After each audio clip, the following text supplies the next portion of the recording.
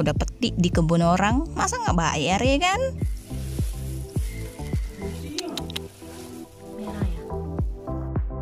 Udah bungkus pulang dulu. Bye. Bye bye.